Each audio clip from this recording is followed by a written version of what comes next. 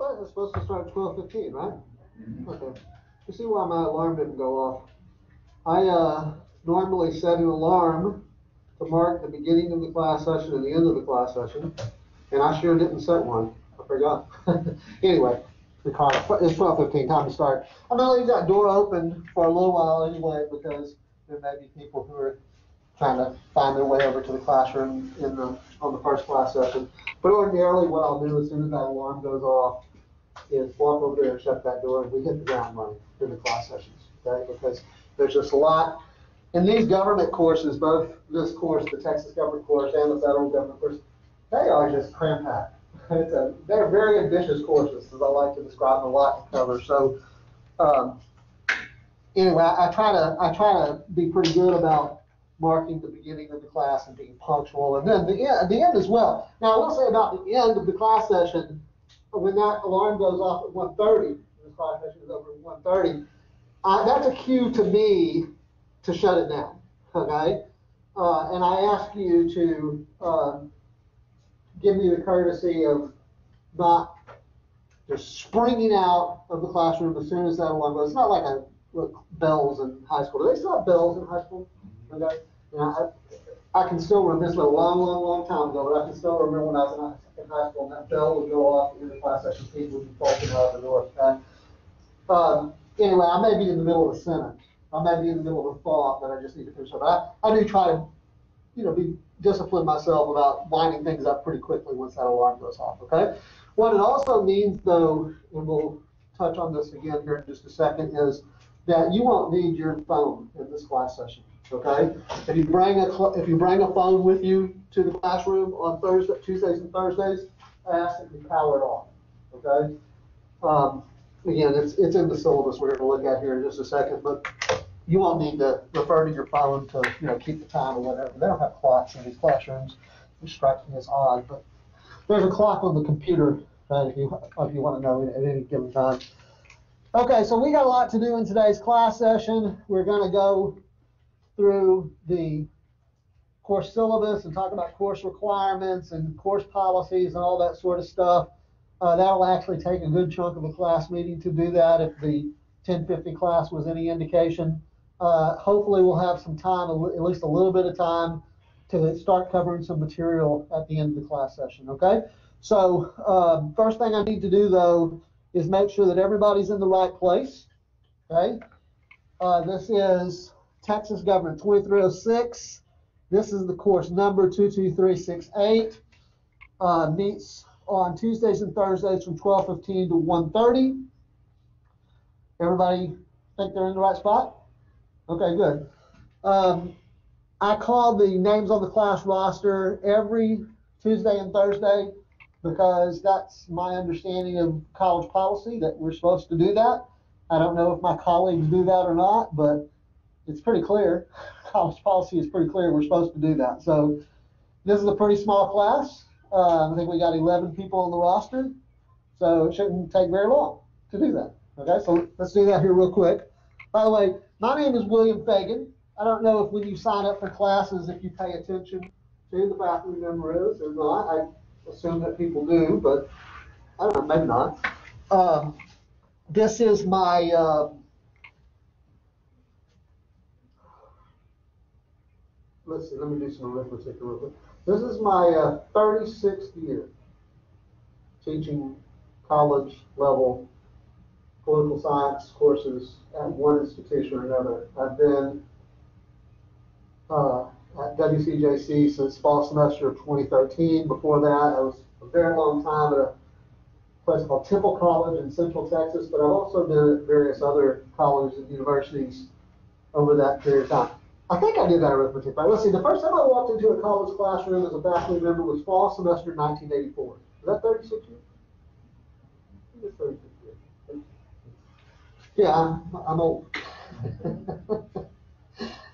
okay, uh, let me do this real quick. I'm going to make my best attempt to pronounce your name. If I mess it up, please correct me and I'll work on getting it right in the future. By the way, if you have, if there's something you prefer to be called, other than the name that's on the roster, let me know and I'll put it in there and I'm happy to call you that.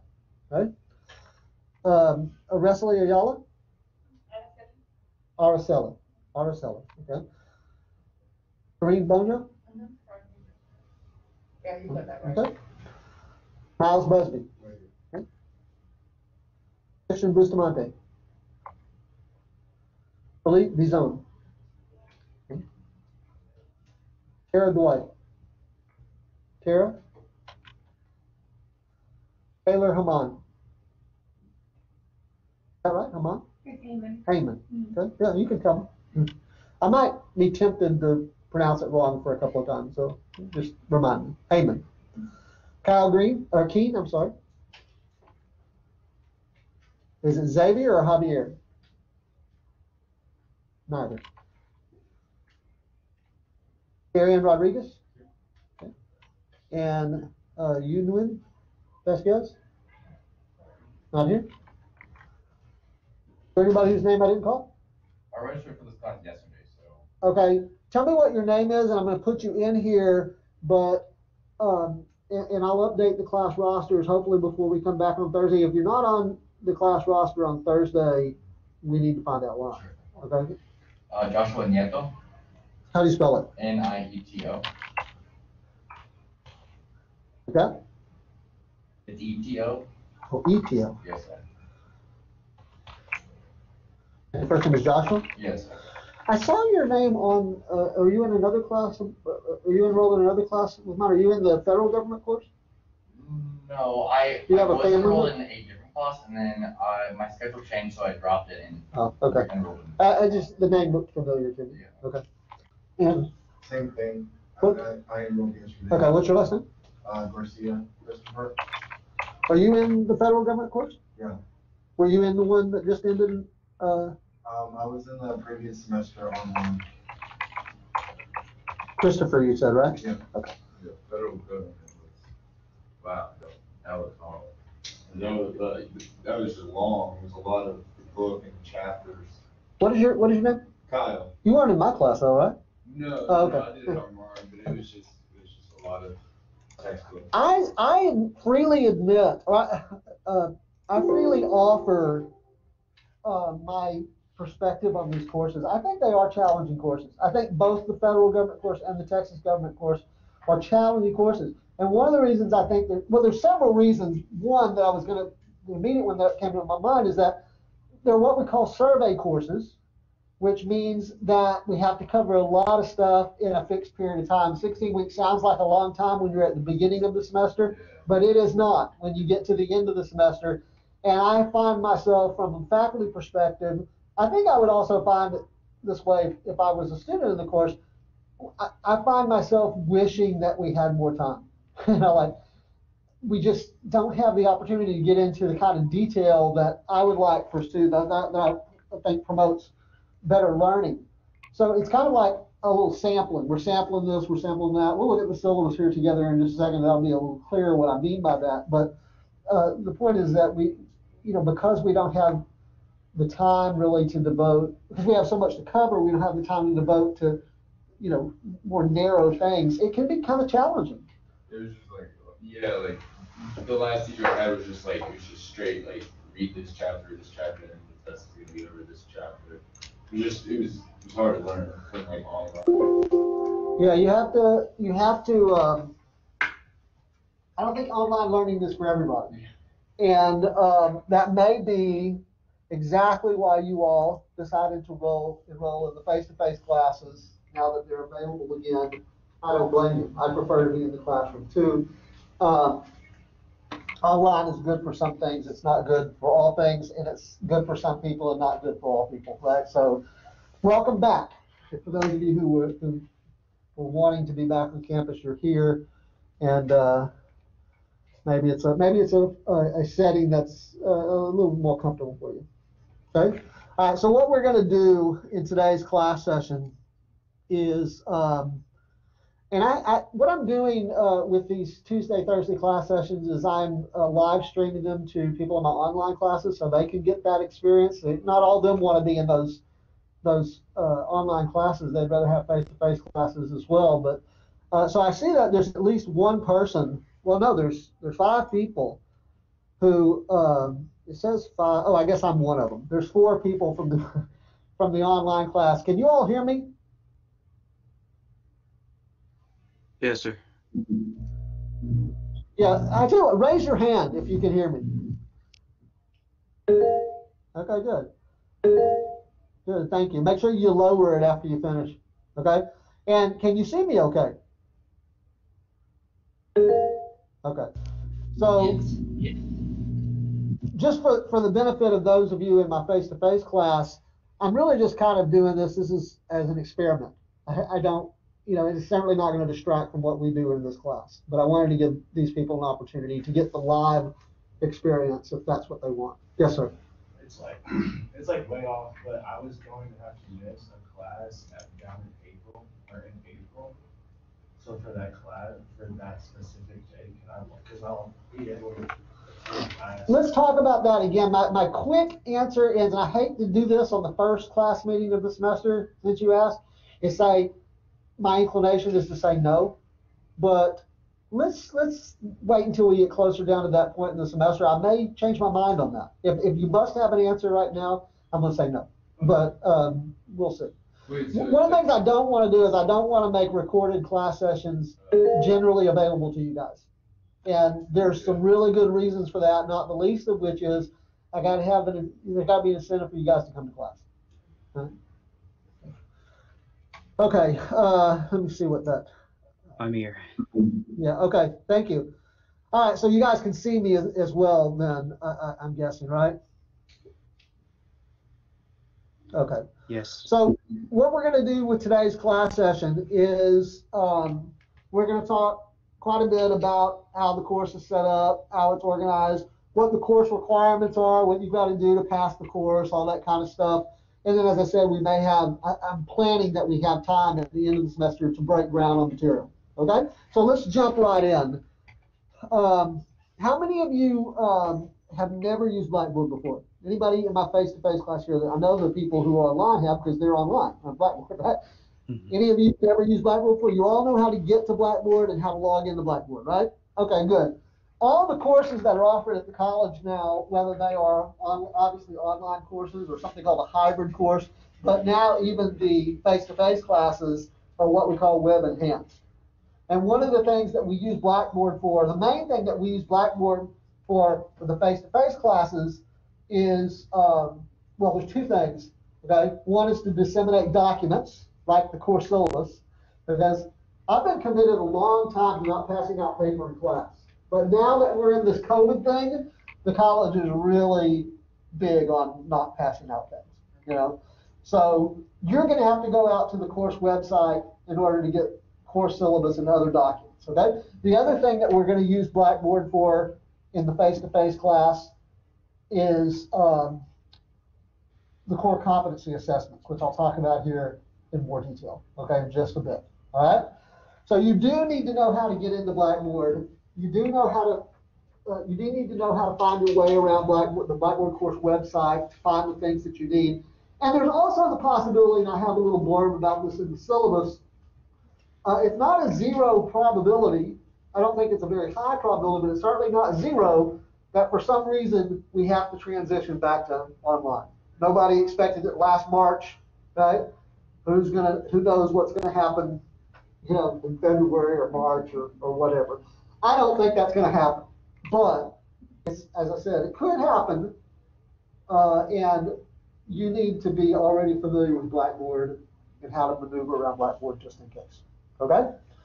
All right, so when you log into Blackboard, you're gonna see your list of courses under my courses. I think it looks different depending on the device that you're using. It doesn't look the same on a phone as it does on a laptop computer or a desktop computer, I think. It also may depend on the browser that you're using.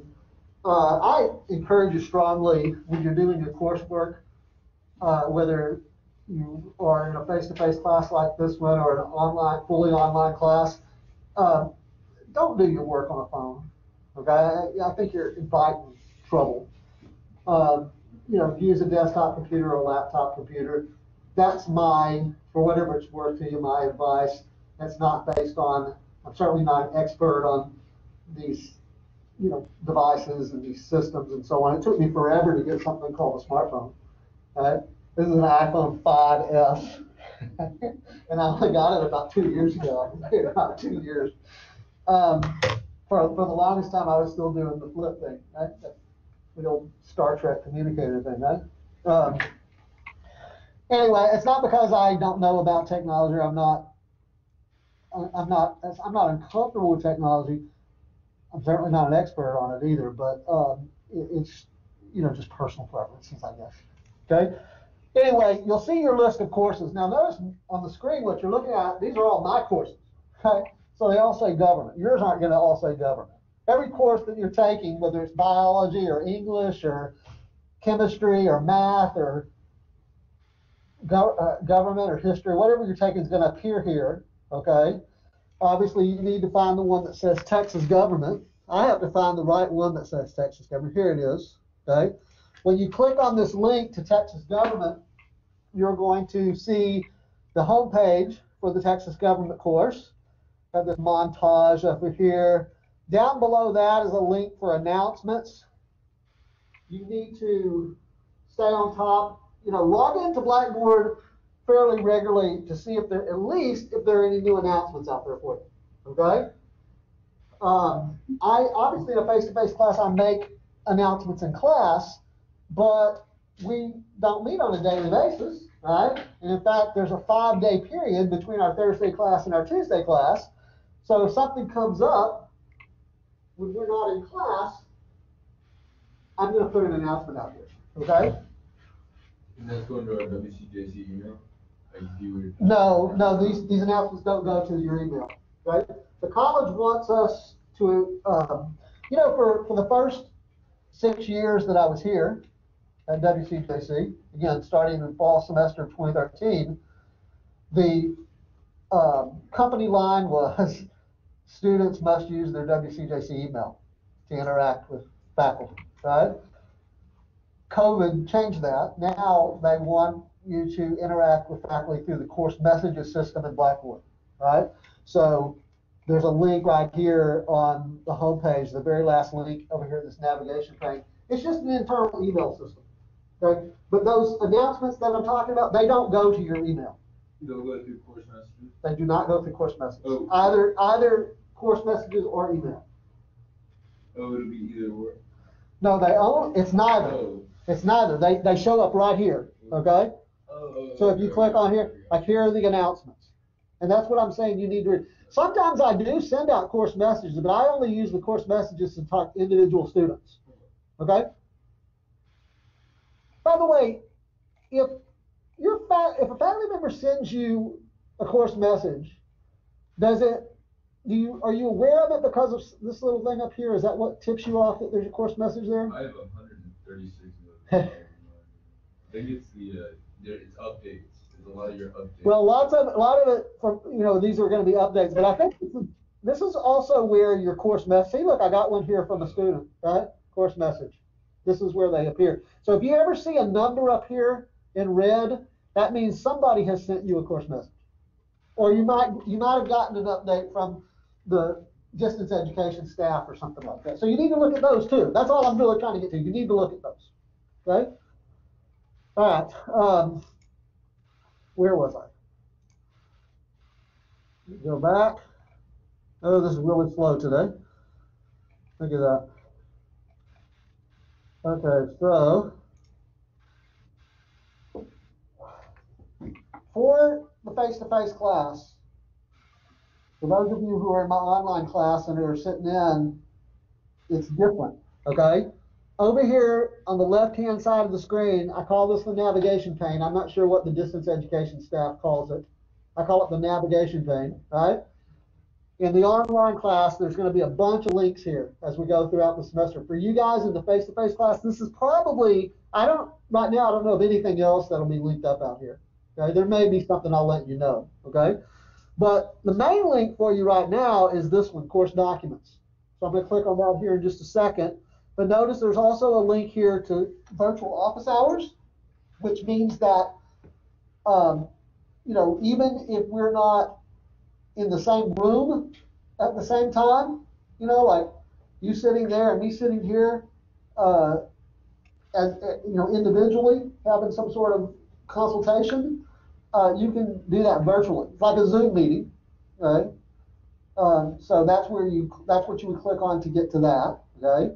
You can check my schedule of office hours and I have that virtual office open while I'm sitting in my office over in Richmond. I have that open, okay? So you don't actually have to come and knock on my door on the Richmond campus. You can come into that virtual office, okay? All right, and then here's a link uh, that says core competency assessments. There's nothing there right now, but I am my goal is end of the day tomorrow. By the end of the day tomorrow, you'll have the information on the core competency assessments. I'll say more on that here in just a minute when we talk about course requirements. Okay, and then here's a link that says final exam information. We do have a comprehensive final exam in this course, and already from day one of the semester, I have some guidance for you out here. Okay? You know what I mean by a comprehensive final exam, right? Test you over the breadth of the course, everything that's covered in the course. And I already said this is an ambitious course. So I'm provide this document and help in an effort to help you manage how you prepare for the final exam. Okay? Uh, and I'll probably remind you that that document's out there from time to time during the semester, and certainly as we get down towards the end of the semester and the final exam is becoming imminent, it's looming, I'll, I'll remind you that that document's out there. Okay? But for those of you who are really on top of things, know that it's out there from the very beginning, and you can use it from the very beginning to manage your preparations for the final exam. That's something you really should do throughout the course of the semester. Don't wait until the very end of the semester to begin preparing for the final exam. okay. All right, so as I said, um, there's not a whole lot out here right now. This link is to course grades. Every time you have something that you, you know, you do some work and I grade it, this is where you come to see your grade, okay? We will be doing some discussion boards in here, so more on that in just a second. And then this is the internal email system. Course messages is the internal email system to Blackboard. Okay? You want to send me a message by email? You don't want to come to the, or you can't come to the virtual office, or you, whatever reason, you can't call me on the phone, or you just prefer to do it by email, you can do that. Okay? There are some disadvantages, though, to asynchronous communication. I want to encourage you to use the virtual office. I think that's, if we're not sitting together in a room together, talking face to face, I think the next best thing is, you know, that Zoom type meeting. Okay? Email, you know, it's sometimes it takes forever to clarify a point. Right? I gotta, you gotta write your email, and then I gotta read it and respond to it, however long that takes me and then you gotta read my email and however long that takes you to do that, you know, and if it takes a, you know, trading four or five emails to clear up a point or to fully answer a question, it may be several days after the initial email. you know how it works, I'm not sure that that's the most efficient way to operate. Okay, uh, let's back up here. As I said, this is right now and for you guys in the face-to-face class, this is going to be the main link in Blackboard. I already have several documents out here for you, okay? I'm going to just touch on these here real quickly, and then I'm going to come back and we're going to look at the syllabus together in some depth, okay? This appears on all courses in Blackboard at WCJC, this copyright notice, okay? There's the link to the syllabus. Um, this document here the schedule of availability of learning materials and due dates for graded work, that appears at the end of the syllabus. And the very last couple of pages of the course syllabus, I just took that part of the course syllabus, lopped everything else off, and created a separate document for easier, quicker reference for you. You can go out here, you want to know when certain things are due, you can come out here and look at that. Okay? Here's a document that says instructions for weekly discussion posts. I'm going to encourage you strongly to read that right out of the gate here this semester because we're going to be doing, as I said, these weekly discussion boards. Talk more about that here in just a second. Here's a link that you need. You need to take care of this as soon as you possibly can. Right? After this class session is over, okay, sometime really very soon, within hours, I would encourage you to go out and get a copy of the course syllabus, you know, open up the course syllabus, download it if you want to. Some people like to print it out, okay? Read through it, right? Become familiar with all- the course requirements, all that kind of stuff. And then the next thing is do this receipt of course syllabus acknowledgement form. How many of you took online classes previously? Okay? Uh, you know that little form that you do in the online classes to say you got a syllabus? They want us to do that in the face-to-face classes now. Again, they don't want us to pass out paper. So we're gonna do that, have you do that on Blackboard, okay? It's a, it's set up like a quiz, it's just a little one-question quiz, and I even give you the correct answer. okay?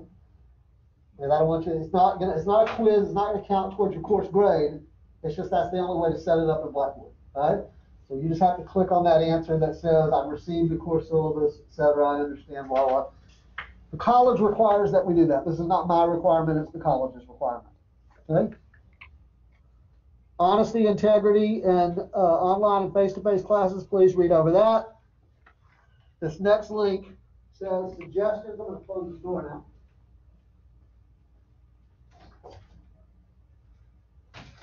Suggestions for taking notes during class sessions. Okay, so, let me, let me digress here for a moment and explain to you how this video came to be. I was teaching a class several years ago in this building in a room upstairs that was used for what we call our interactive television, interactive TV classes, ITV classes. So I had a class, a group of students with me in the classroom upstairs here on the Sugar Land campus. There was another group sitting in a classroom out of, out of the Wharton campus. There was another group sitting in a classroom out of the Richmond campus. And then I had a couple of high schools that we did dual credit with that were sitting in classrooms on their, on their, uh, school campuses. And it was just all one big class. We were doing by interactive TV. And I don't remember what the topic was for that class. and It was pretty late in the semester. Uh, I was lecturing on something. And I just kind of looked around and I noticed that no one was taking notes. You know, it's like, and I was kind of surprised by that. It's not that I had never noticed that before. Like I said, I've been doing my job for a long time at one place or another. And over the years, that's becoming an increasing phenomenon where many students come and they just don't take notes, right? But I had never really, it never really dawned on me before that there was no one taking notes. There was nobody in the classroom with me on the Sugar Land campus that was taking notes. There was nobody, I looked on the television screen, I looked at the Richmond campus, nobody taking notes, nobody on the Wharton campus taking notes, nobody on the high school campus taking notes. And I just thought, I gotta stop what I'm talking about here and talk about taking notes. because I'm convinced, again, I've been doing this job a long time, I'm not, I'm not a teacher by trade, okay? I didn't, my education and background is not in theories of learning or educational theory or educational techniques or anything like that. My degrees are not out of the College of Education. I'm a political scientist and economist by education and training, as most college professors are. They're, you know, not like teachers in the public schools and high school where they have a lot of background in educational theory and stuff like that, or some background in educational theory. I'm an expert on American politics and other aspects of political science and political economy. I'm not an expert on learning, okay? Now, I've been doing it a long time, so I've picked up some things by experience and by intuition, okay? And one of the things I'm absolutely convinced of is that to do well in this course, and I think in many, many, many, many college courses, one of the skills that you really need to hone is taking good notes. It's like anything else to get good at something. You got to practice it. It doesn't come naturally to a lot of people. As I like to say, it's like shooting free throws. All right? Or eh, are any of you musicians? What's your instrument? Saxophone. Saxophone. I don't know much about wind instruments. Know more about string instruments, but maybe it's true with the saxophone as well. Uh, when you were, did you get, did you just pick it up like on your own, or did you take some lessons? I had classes. And did you have to learn scales? Yeah. oh, And is learning scales fun? It's drudgery. It's drudgery.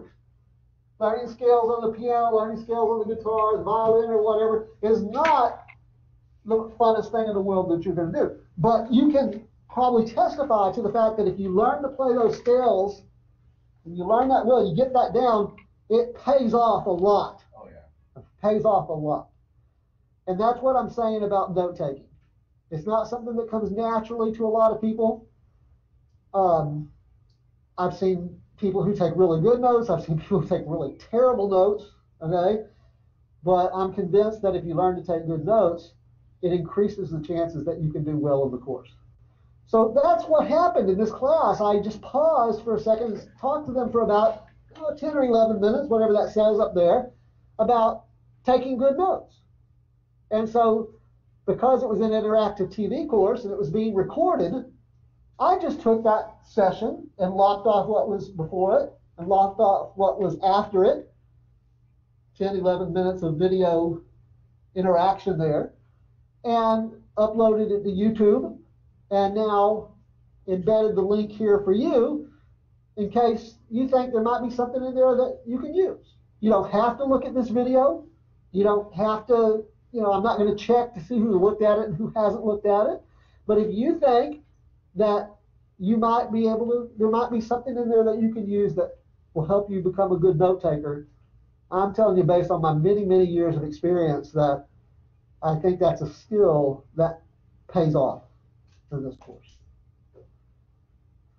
Hopefully, as we continue talking today, that it'll, and as we go through the semester, it'll become clear why that's the case. Okay, so anyway, that's out there for you. It'll remain out there the entire semester. Okay? I've been putting it on my, embedding that into the Blackboard site for every course since like 2016. Okay, let's take a look at the course syllabus together. As I said, this is the main document right now, really throughout the semester for you guys. And uh, for those of you in the online class, it looks the same, but the specifics are a little bit different, not in terms of course requirements, but in terms of how things are carried out, how things are implemented, might, might be a little bit different.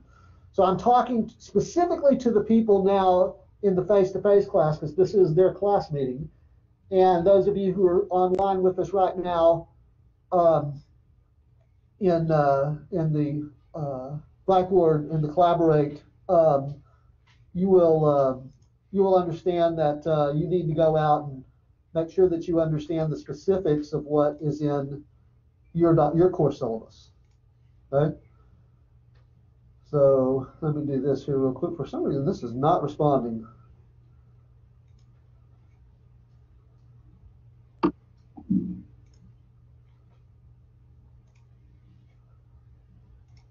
Click on the, the square. Oh, thank you. It was grayed out. I should have picked up on that. All right, uh, folks. Um, hopefully you can see my screen now. Uh, let me well, let me do this. What do you see on the screen out uh, on for the online folks? What do you see? Do you see this the syllabus that says face to face? Yes. Okay, thank you. All right, so again, yours is going to be different in some respects. You need to read over it very carefully. All right, so this first page is the cover sheet. It's on every course syllabus. The details are, the specific information is different, but the look is the same every, on every syllabus in the college offers.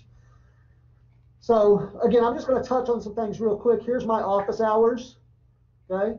And notice I've indicated here that, you know, where my office is over on the Richmond campus. I also have some um, office hours, limited office hours on this campus. It's mainly before the 1050 class on Tuesdays and Thursdays and after this class on Tuesdays and Thursdays. So for those of you who are sitting in this classroom, the class session ends and you want to ask a question, fair game, you know, we're moving to office hours at that point. Okay? It actually works out kind of convenient for you. And for the people in the 1050 class, they can, you know, meet with me before. Okay? All right, so, uh, anyway, you can also do, as I said, the Blackboard thing, the, the collaborate thing. Um, here's a brief description of the course from the course catalog.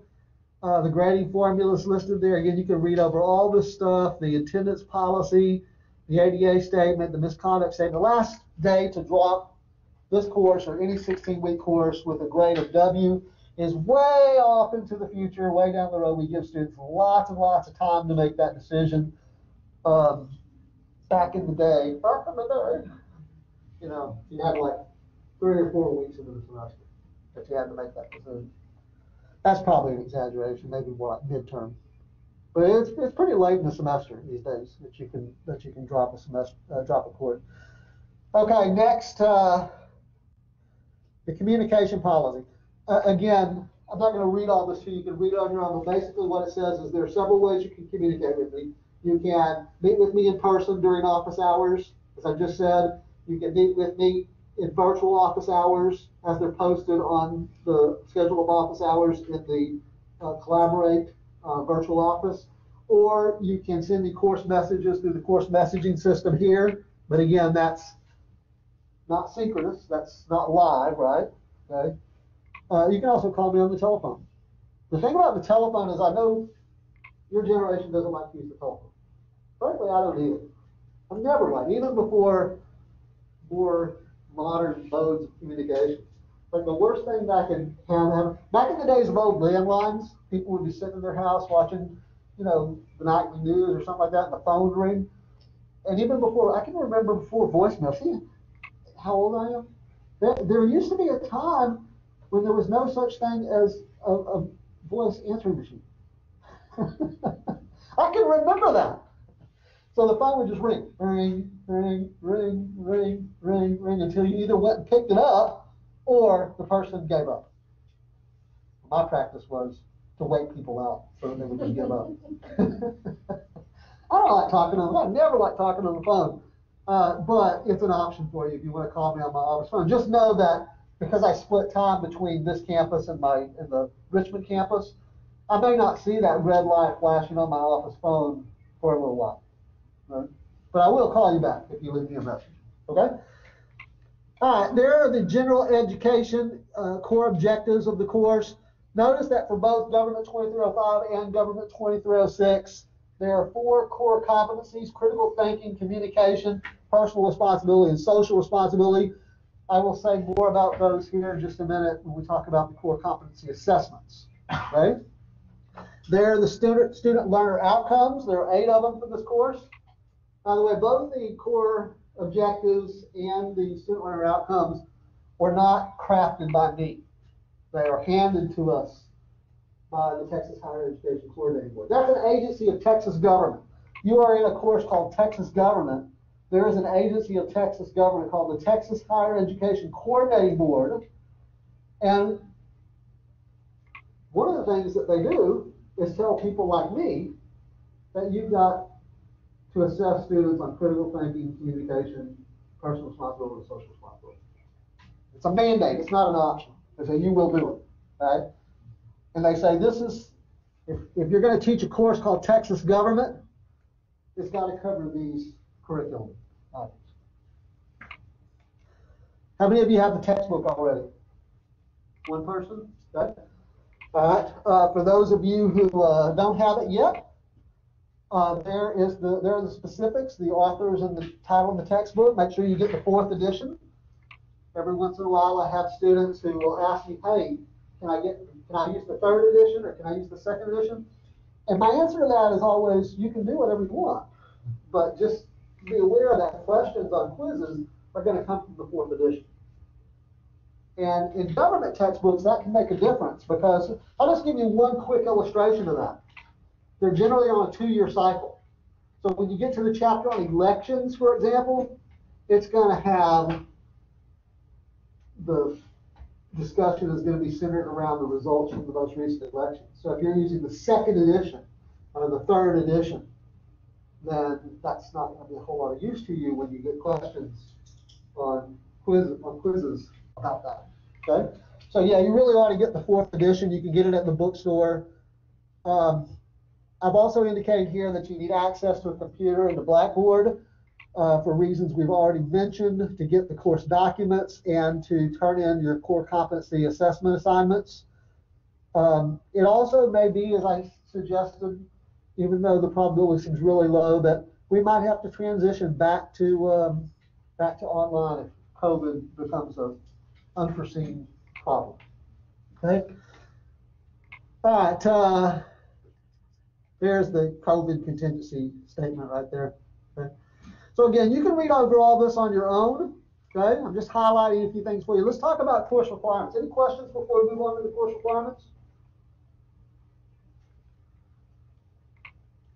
Okay, so let's just dive right in. First thing on the list here are weekly lecture quizzes. Okay. Second thing, re- weekly reading quizzes. Now, what's motivating these? As I see this course, there are two sources of the course curriculum. When I say course curriculum, I mean the information that we learn about in this course. Okay? One source of the course curriculum is the textbook. The authors of that textbook are well-educated political scientists, and I think they bring a lot to the table. They have some expertise to bring to bear, and they share that with you in the pages of that textbook. The other source of the course curriculum, if I can be so bold to put myself in their company, is me.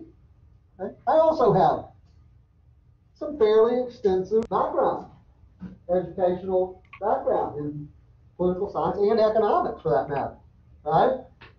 And I'd like to think that I have something to offer too. I bring something to the table. And I don't use the Tuesday, Thursday class sessions, the lecture discussion sessions, to read to you from the textbook. You can read on your own, right? So one of the things that you'll discover is, while there is clearly going to be some overlap between what we talk about in class and the information that's presented in the textbook, it's not identical. You know, the worst college course I ever took in my entire life, it was a long, long time ago, but I can still remember, and I don't want to hurt anybody's feelings or offend anybody, so don't go tell one of my colleagues that this is gen, I think this is generally true, but it was a sociology course. And the professor would come to class, I don't remember if it was a Tuesday, Thursday, or Monday, Wednesday, Friday, whatever, but he would, he would come to class every day with his textbook, and he would open up the textbook and put it on the table in front of him, and he would read to us from the textbook. And I think, I can read myself. you don't need to from the textbook. I just, you know, it was, I'll tell you what my favorite classes were from when I was undergraduate, but I'll also tell you what my least favorite classes were. That sociology class was probably my least favorite course. My favorite course was microeconomics. I was undergraduate. Anyway, I'm not going to read to you from the textbook. In fact, you're going to discover that while there's clearly some overlap between the stuff that I bring to the table and the stuff that the authors of the textbook bring to the table, there's also some differences. They cover some things pretty well. I don't think I necessarily have much to add to what they brought. They cover some things not so well or not at all. Maybe those are things that I elaborate in class. Or even the things that we're talking about. The thing, I may have a different perspective than they have. Maybe even down to the way I define a term is a little bit different than the way that the authors of the textbook define it. Right out of the gate, you're going to discover that's true because one of the first topics on the syllabus is a topic on public policy. And the way that they talk about public policy and the way that I talk about public policy is not identical. You're going to, you're going to pick up on that pretty quick. You probably would have on your own, but now that I've mentioned it to you, you'll probably be looking for it. So, so if like we were to come across like information like how do we identify which ones to know and then which ones? Because you're going to know whether you're going to be taking a lecture quiz or a reading quiz. Yeah. Is that up? Yep. I, I like to try to, I, you know, I like to, because I see the, the two different sources of course curriculum, I like to keep the quizzing separate. Mm-hmm. Because I don't want you to be confused if they have a definite, one definition of a term or one explanation of a concept, and I have something that's a little bit different, I don't want you to. So what about the exams, like anything like information like that, that we mix, like mixed in? We don't take exams in this course except for the final exam. Oh, really? We haven't got that far yet, but Oh, You'll see, right? I'm sorry. I apologize. That's, a- no, it's okay, I, I, it- it is perfectly understandable that you would anticipate having to take exams. Yeah. We are testing you, but it's on a week-to-week basis. It's smaller bits of information rather than larger bits of information. I- And by the way, this is the first semester I've ever done this where I haven't had unit exams, you know, like four unit mm-hmm. exams or something like that. But I decided to experiment a little bit this semester, and I'm hoping that it not only will take a little bit of the pressure off of you, but also make it easier for you to process information in smaller increments rather than larger increments. I feel like the information is gonna stay I hope. Yeah. Well, see, you're, you're gonna give me some feedback on that, I hope, right? Yeah, I mean, we're committed to doing it now in this semester, but at the end of the semester, or maybe as we go along, you know, you can, you can tell me. You know, I, this, this works a lot better, or this doesn't work as well as I hope. Yeah. Yes, sir. Oh, I was just gonna say, I probably take a lot more information this way than trying to cram for like four. I hope. Well, again, you know, here's the thing, people learn in different ways, and it may work out very well for you, it may not work out as well for somebody else. But I'm hoping on balance, there'll be a benefit to doing it this way, and I'm not wedded to doing it this way in perpetuity, but for this semester, okay? That's why I want some feedback from you as we go along and at the end of the semester on how you think that worked, okay? So here's what's gonna happen with lecture quizzes. I'm gonna skip ahead here, and we're gonna look at the topical syllabus. Everybody online still with me?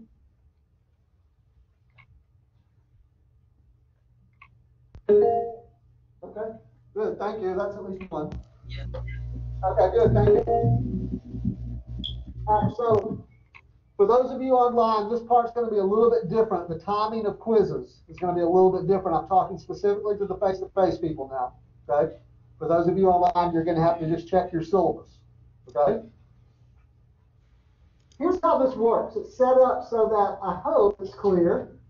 But uh, one thing I've discovered over all the years that I've been doing my job at one place or another is that just because something is clear to me, the way I put it together doesn't necessarily mean that it's clear to you. So you're gonna have to ask if this is not as clear as I think it is, or that I intend for it to be, okay? I want you to jump ahead to week number two, right? Because week number one's an exception. We don't have a reading quiz this week. We don't have a lecture quiz this week. We don't have discussion boards this week. Those graded things begin in week two. Okay, but notice it says week two lecture quiz, Tuesday, January the twenty-sixth, one week from today, you're gonna come in and probably first thing, right out of the gate, right when that alarm goes off, we're gonna take that lecture quiz. It's gonna be ten multiple choice questions based on the lecture material that we cover in week one. Today, and particularly on Thursday, because who knows how far we're gonna get today with it, right? Come in next Tuesday expecting a lecture quiz, yes, sir. And I assume it's gonna be online and not like a. No, no, it'll be in the face-to-face classes, in the online classes, they do it online, in the face-to-face classes, you're gonna have to bring, uh, a scan, scan. Oh, okay, that makes sense. Way, I'm glad you asked that because I probably, I didn't think to say this in the, in the, uh, ten, ten fifty class. Uh, I need to remember to do that for them on Thursday. Uh, you need to get the quiz strips that have fifteen items on them. I think they sell them in like packets of ten or something like that. So you need several packets for everything we're doing this semester. Wait. Sorry about that. So we get our own, we have to go buy our own schedule? Yes. And which, do you want us to get Scantrons or quiz strips, like you said? Well, Scantron is a brand. It's like, you know how people say Coke and they're really drinking a Dr. Pepper, right? Scantron is a brand name. I'm not sure what the brand name is that they sell over there, but they're, they sell several different s- s- quiz strips or Scantron mm-hmm. forms. One of them, the ones that we need for quizzes this semester, have fifteen items on one side and the other side is blank. I'll try to remember to bring one with me on uh, on uh, Thursday. Hold on a second. There'll be a momentary pause while I do a quick search.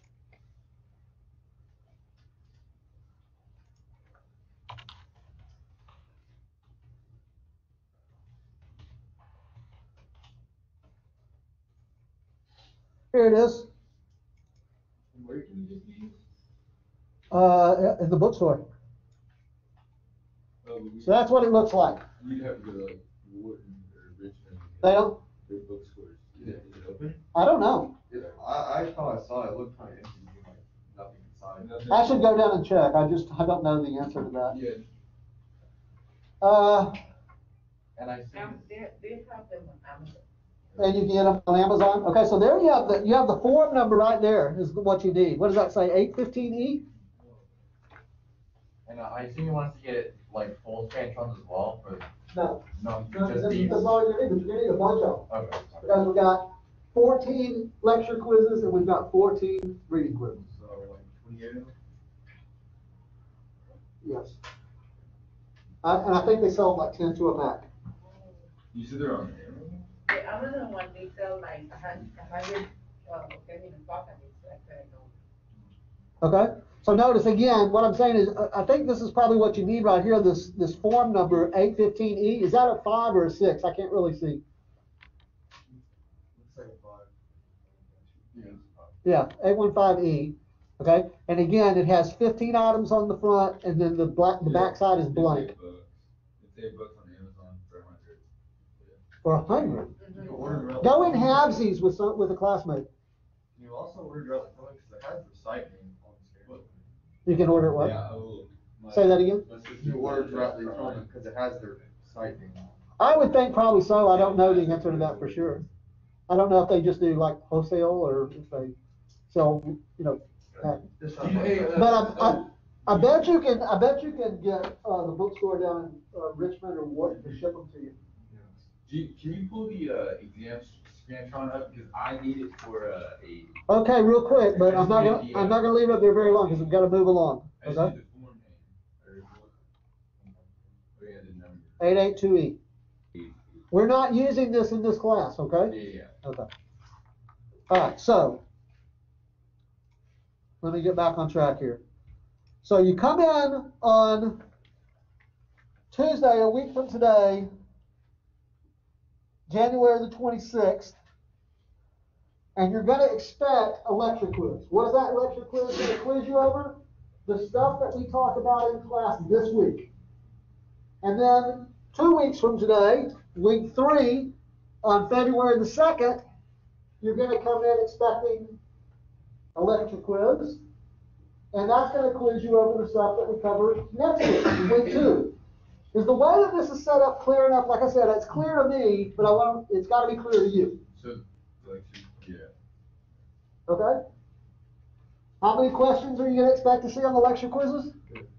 And what's the format? True? Not on the lecture quizzes. The lecture quiz is multiple choice, okay? Alright? Now, there are gonna be week two through week fifteen, so that's a total of fourteen quizzes, right? I'm gonna drop the lowest four scores.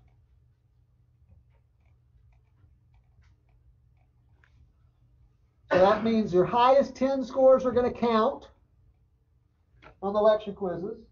That's a lot of drops, by the way, on quizzes. I doubt that if we were doing unit exams, that would happen. Okay?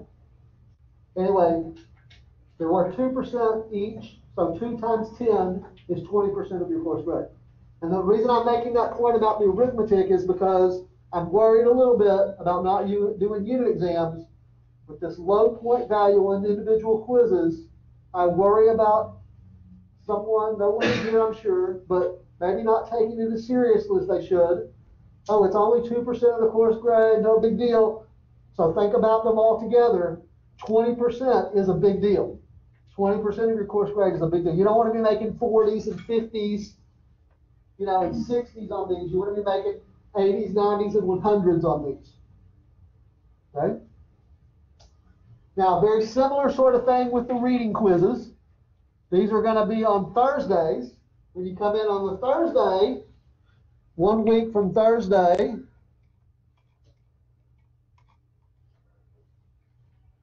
notice you have a reading quiz, and that quizzes you over the reading material for week one.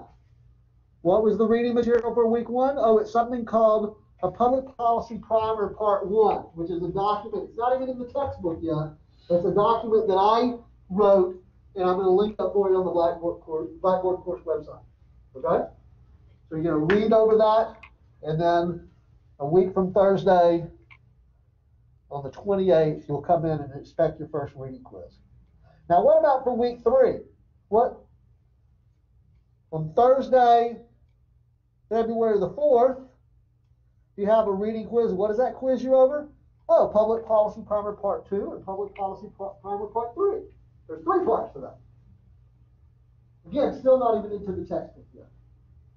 So if you're thinking, I don't, for whatever reason, can I wait to get my textbook?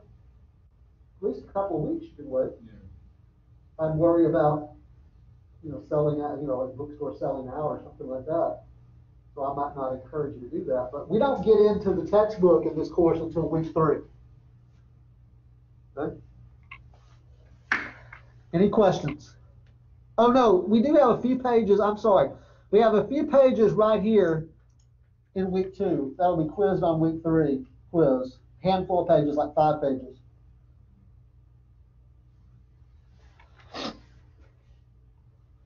Any questions about how those lecture, oh, by the way, those are true, false, ten true, false statements, okay?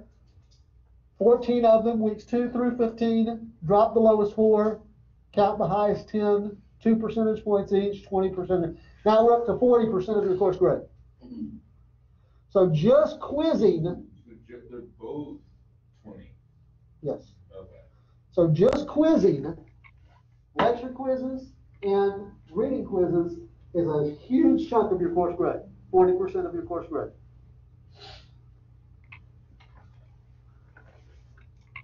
Questions about that?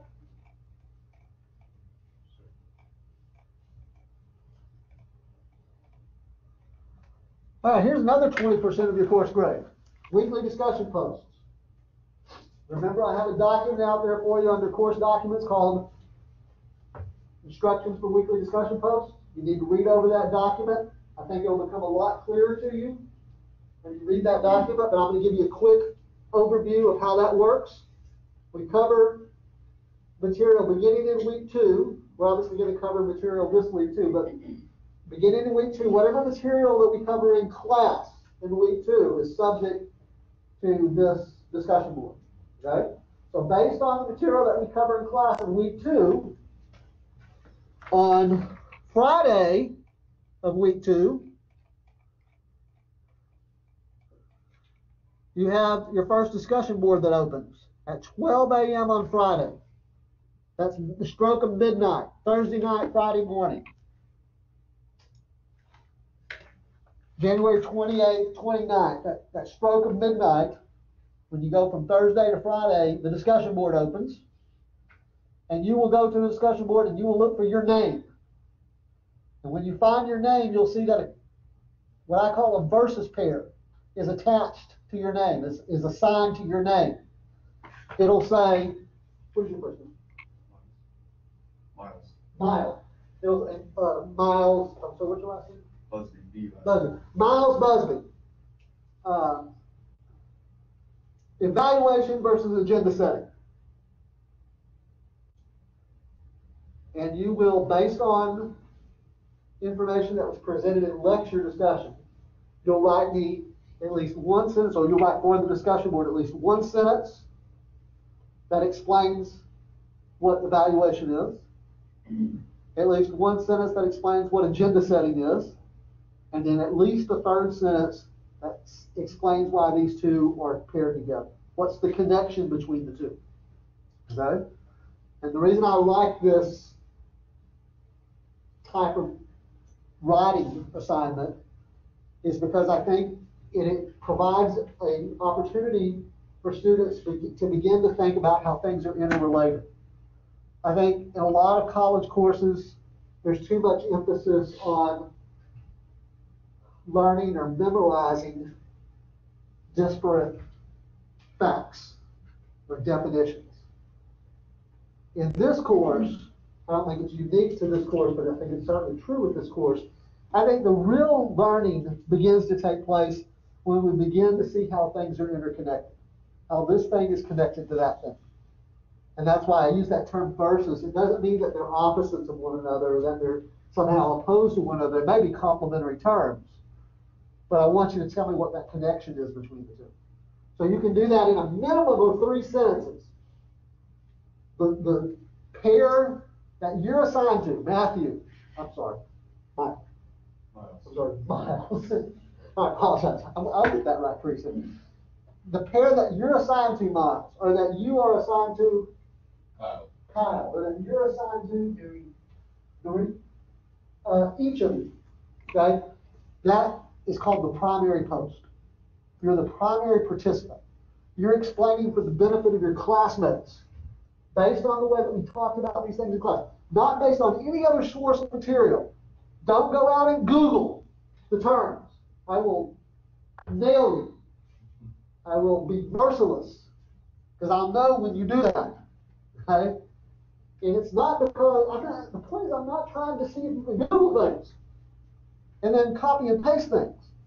Okay?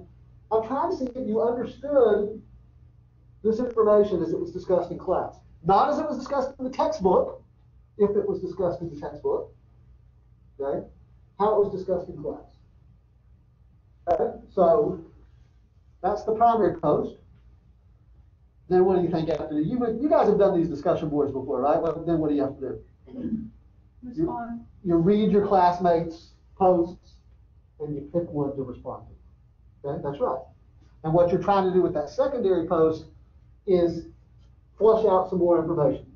I don't want to see this stuff on the discussion board like great post, you know, good job. I'm all for, you reinforcing each other affirming each other. But that can't be the extent of the, the secondary post. I, I, I really, I don't want you to think that I'm gonna, you know, be mean to you if you say good post. That's okay, say it, but don't just leave it at that. I want you to, at a minimum, um, if the primary participant left something out or didn't explain things quite right, you're not grading their work. You're trying to promote better understanding for your classmates of these concepts, right? So think about it like you're in a discussion group, an actual, like a study group or something. And one of the one of the people in the study group says, oh, wait a minute, now that was defined as, and you say, no, no, no, that's not how it was defined in class. That's okay to do that. That's okay to do that on these discussion boards. Be civil about it, right? We're not gonna troll each other, okay? But, you know, we, we wanna promote better understanding of these concepts, okay? You can ask questions, right? You can bring stuff in that wasn't discussed in the class lecture, but not at the expense of covering how it was discussed in this class lecture. You know what I mean? If you want to add something to it, that's fine.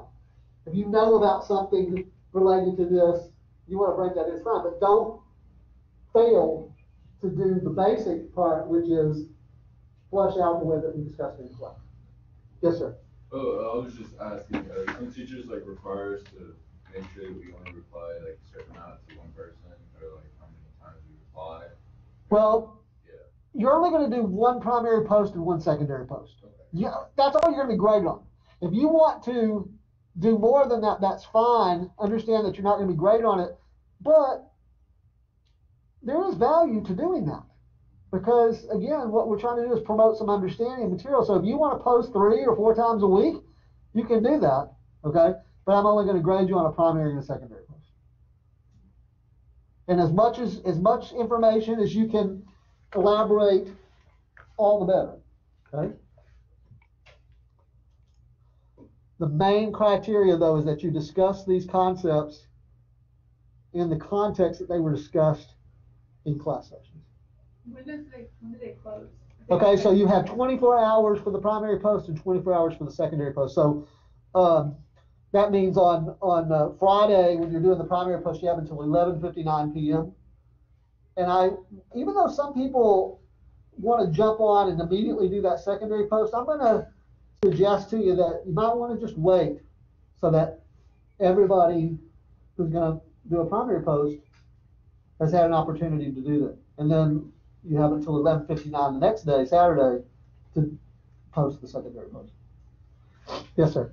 Um, I noticed that, um, last semester in, uh, federal government, when I did, uh, the online. Were you in my class?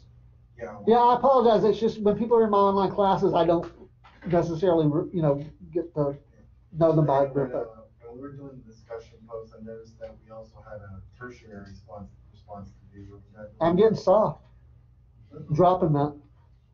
Dropping, yeah, he's right. Last semester, I was requiring three posts a week, primary, secondary, and tertiary. But are you disappointed? No. We could change it real quick. Okay. No, yeah, just gonna ask you to do the two this time. Uh, I'm hoping by doing that we can get more concise and less sort of rambling, uh, discussion threads. Okay. Questions about those? So fourteen of those, weeks two through fifteen. The lowest four dropped. That means ten are counted. They're worth two percent each. Ten times two is twenty. Now we're up to sixty percent of your course grade. All right. All right, next are core competency assessments. Boy, time gets away so fast. I apologize. Let me, let me try to hurry along here, okay? Um, core competency assessments, we have four core competencies, as I said, critical thinking, communication, social responsibility, personal responsibility, okay? I kind of think that what I've been doing my entire illustrious professorial career is assessing students on critical thinking and perhaps communication, least written communication. Um, the Texas Higher Education Coordinating Board wants something more formal, something less nebulous, I guess. So what they've said is we have to have some sort of assessment instrument to assess you on each of those four.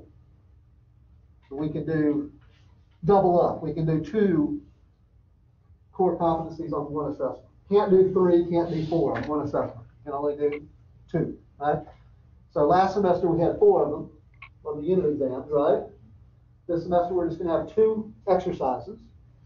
And, uh, the first one is on critical thinking, or, or assesses on critical thinking and communication. It's an assignment that deals with the Texas Constitution. So it's related to the curriculum of the course. And then the second one is on personal and social responsibility. And that's an assignment that deals with the Texas Democratic Party and the Texas Republican Party's platforms. Right? I'm gonna have documents out there for you, as I said a few minutes ago or earlier. Hopefully by the end of the day tomorrow. My goal is by the end of the day tomorrow. That will give you exact information about how you, how you're gonna do these assessments. Okay? And the due dates are provided both here and at the end on the schedule. And will we, will we be taking those in class? No, this is something you do outside of class. So notice that the first one, assessment one, is due on, not, no later than eleven fifty-nine on Saturday, February the twenty-seventh. And you can do that online. You, you will turn it in online on Blackboard. Okay? And then the second one, I think that's the end of week six, if I remember correctly. And then the second one is due Saturday, April the seventeenth. That's the social responsibility and personal responsibility. That's the end of week twelve, I think.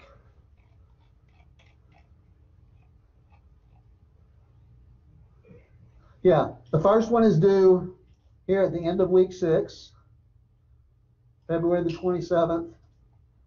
And the second one is due at the end of the week twelve. And that goes towards our grade. It does. Each one is worth five percent of your course grade. So together, they're worth ten percent of your course grade. Now we're up to seventy percent of your course grade. Okay. What do you think the remaining thirty percent of your course grade is? Final exam. We do have a comprehensive departmental final exam in this course. It's multiple choice format, fifty questions. The date and the time for the final exam for this face-to-face class is at the bottom of the syllabus. For the online classes, for those of you who are still with me, it's at the bottom of your syllabus. The last thing on this document. okay? That's set by the, by the college, okay? Notice that the start time is a little bit different, okay? You will be accustomed to coming to this classroom at twelve fifteen on Tuesdays and Thursdays. We get down to Thursday, May the thirteenth, when you take the final exam, it's a little bit later starting time, okay? That's fifty multiple choice questions based on the entire course. And remember, I have that document out here for you under final exam information that provides you with some guidance. I hope, useful guidance to help you manage that material as we go through the semester. All right, questions about your course requirements? Any questions about course requirements? So, 100 points maximum can be earned in this course. When it comes time for me to enter course grades at the end of the semester, I just use that grading scale right there, very mechanically, unemotionally. Whatever point total you have, where it fits on that scale, that determines your course grade.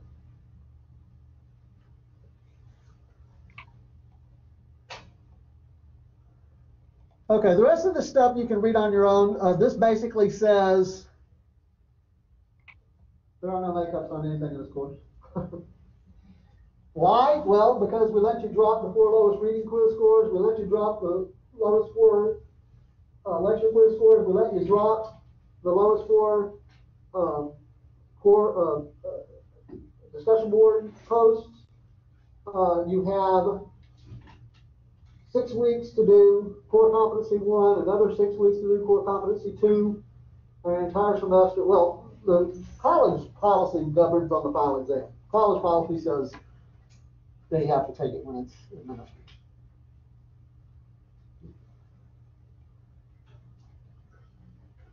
Read over these sections.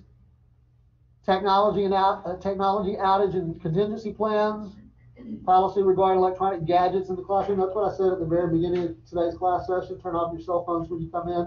You can have a laptop or a tablet if you're using it for class purposes, if you're surfing the internet. Do people use that term anymore, surfing the internet? Nobody uses that anymore, do they? If you're browsing, you are distracting the people around you. You're distracting me. And most importantly, you're distracting yourself. So don't do that in class. I'll evict your device. Okay? But you can, if you want to bring it in to take notes, you know, stuff that we're working on in class, perfectly fine to do that. Okay. Do you have any questions? Attendance policy, I don't, I don't, uh, add points to anybody's score for good attendance. I don't subtract any points for poor attendance. I think that shows up in your grades anyway. Obviously, you're quizzing every Tuesday and Thursday on something, so if you're missing too many of those, you're gonna get in trouble. right? Um, if you're missing more than four classes a semester anyway, that's in, in a class like this, you know, in a, in a Tuesday, Thursday class, two days a week, that's, you're, you're, we used to call that in the old days, I was at Temple College for many, many years, and we had something called the excessive absence policy, where students could be dropped by the administration for excessive absences. We don't have that here at WCJC. Some colleges and universities have that. We don't have that here. But that was defined at Temple College, that was defined as three or more class sessions. That wasn't that long ago. What else? How many What? questions the lecture quiz have? Ten multiple choice questions. Ten multiple choice questions on the lecture quizzes. And ten on the reading. Ten true false questions on the reading quizzes. We'll use the same form for both the reading quizzes and the lecture quizzes. What else? It's not your only opportunity to ask, but it's a good opportunity to ask. Because we are going to hit the ground running right out of the gate on Thursday. We didn't get to cover uh, material in today's class meeting, so I gotta hustle on Thursday. All right, we'll see you guys Thursday.